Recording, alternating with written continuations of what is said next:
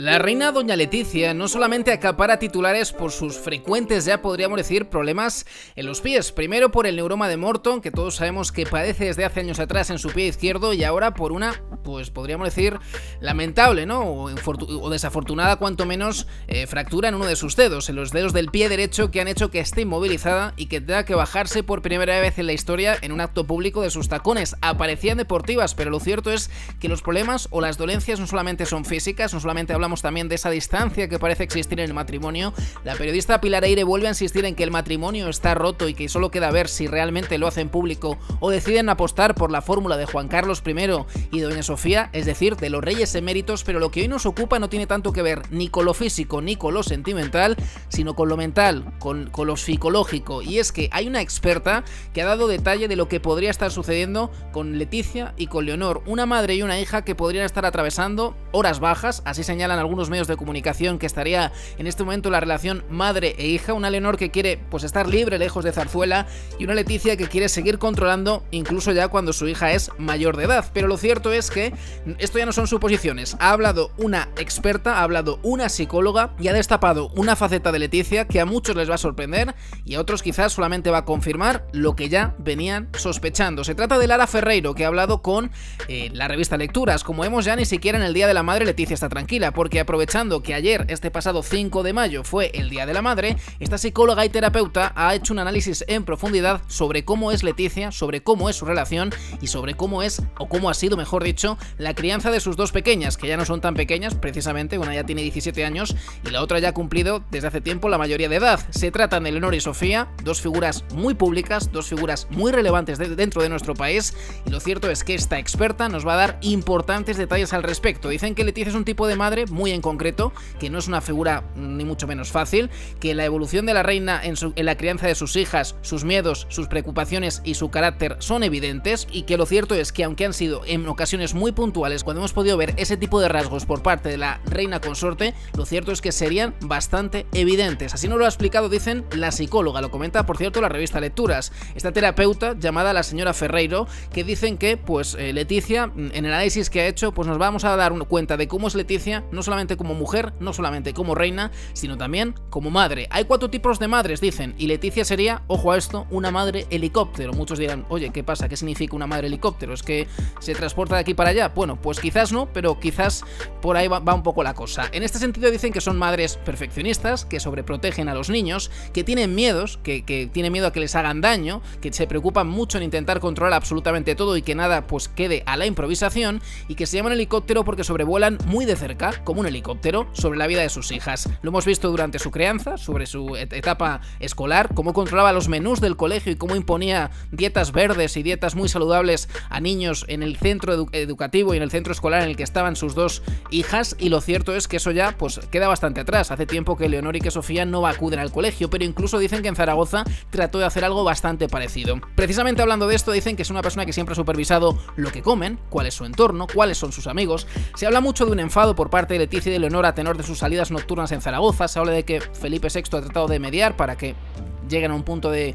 comunicación, pero lo cierto es que Leonor quiere disfrutar de sus 18 años y yo creo que todos los lo comprendemos, pero parece ser que Leticia no, y por, quizás por ahí van esas fricciones y esas tensiones que no podemos apreciar muchas veces frente a las cámaras y en los distintos actos en los que aparecen, pero que según dicen muchos que están cerca de ellos y que ven cómo funcionan las cosas entre bambalinas, sería bastante patente y bastante evidente que Leticia y Leonor no atraviesan ni mucho menos eh, su mejor momento. Luego esta psicóloga habla de otro tipo de madres, la madre tigre, que es una que lleva una educación muy disciplinada, que saca las ganas como un tigre, y que sobre todo si sus hijos sacan malas notas, pues se pone histérica para arriba. Este tipo de madres dicen no suelen atender a sus hijos emocionalmente, se preocupan mucho por la disciplina, las notas, y luego está la madre medusa, que son todo lo contrario, madres que son flexibles, muy laxas, permisivas, que no ponen límites, y que luego están, pues, las últimas, que son las madres bocadillo, que lo único que les preocupa es que su hijo coma. Esto dicen es muy típico en España. Leticia, para que para el que tenga alguna duda, ni bocadillo, ni medusa, ni tigre. Lo que es es helicóptero, es decir, las madres que que suelen dar mucho cariño,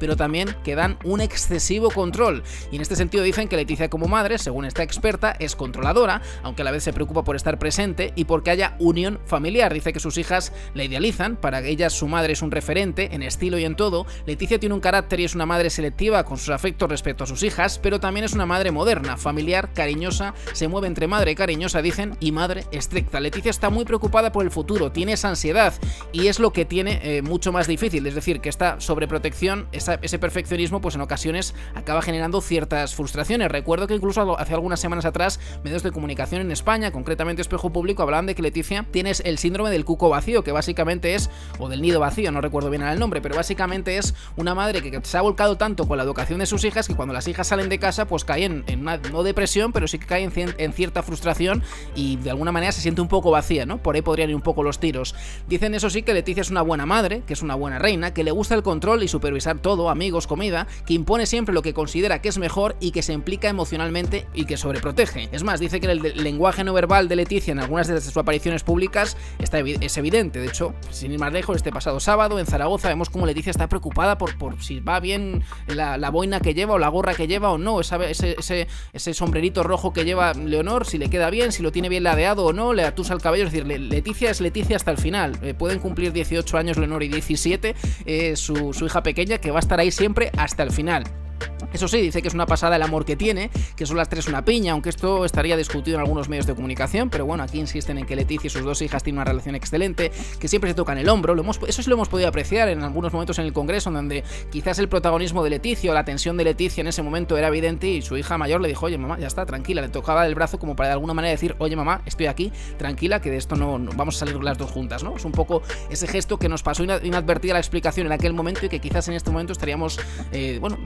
un poco qué es lo que estaría sucediendo, ¿no? Al mismo tiempo dicen que, pues, eh, la reina ha estado muy empeñada en que Sofía no se siente una segundona, como sucede quizás en Inglaterra con Harry, al que siempre han dicho que le han considerado un repuesto. Las hermanas se llevan muy bien, yo creo que eso no hay duda, eh, se quieren muchísimo, son niñas eh, muy educadas, esto incluso lo han dicho compañeros de Leonor en Zaragoza, que esa excesiva quizás educación o insólita educación por parte de Leonor seguía sorprendiendo incluso en una academia militar como la de la mencionada Zaragoza. El estilo de crianza de la reina Leticia, dicen, es autoritario, son padres muy estrictos que llevan una educación de sí porque sí y porque lo digo yo y no hay debate. Y en este caso dice que son niños sumisos que luego se vuelven mentirosos y ocultan cosas a sus padres. No sé si del todo están mm, achacándole esto a Leticia y a honor pero sí que apreciamos pues cierto de esto, ¿no? En todo esto, porque sí que es cierto que yo creo que lo hemos comprobado todos, un excesivo control hace que en ocasiones los niños se acaben rebotando y acaban saliendo peor de lo que uno imaginaba. Y quizás no van por ahí las cosas ni mucho menos, porque yo creo que Leonor es una chica excelente, pero sí que apreciamos cierta rebeldía, no de niñez, no de adolescencia, sino ya de madurez por parte de Leonor hacia su madre. Dicen que los hijos pues, pueden desarrollar problemas y pueden generarse muchos, muchas complicaciones como depresión en adultos y problemas de salud mental cuando pues, este tipo de cosas no se gestionan de una manera buena o cuando en ocasiones incluso la crianza es negligente porque son padres que pasan muchas horas trabajando, que no están atendiendo las, necesidades de sus hijos, simplemente les compran regalos, no ponen límites ni dan ningún tipo de cariño. Yo creo que este caso ni mucho menos es el que se puede achacar a Leticia, eh, ni mucho menos. Yo creo que sí que es una madre presente y no ausente, pero también, pues eso, es una de las evidencias, uno los comentarios que están diciendo Dicen que el amor de Leticia siempre ha sido innegociable, siempre ha estado ahí, pero que eso sí, esa, esa falta de flexibilidad en ocasiones ha sido evidente y podría haber desencadenado ese tipo de tensiones, como digo, entre madre e hija.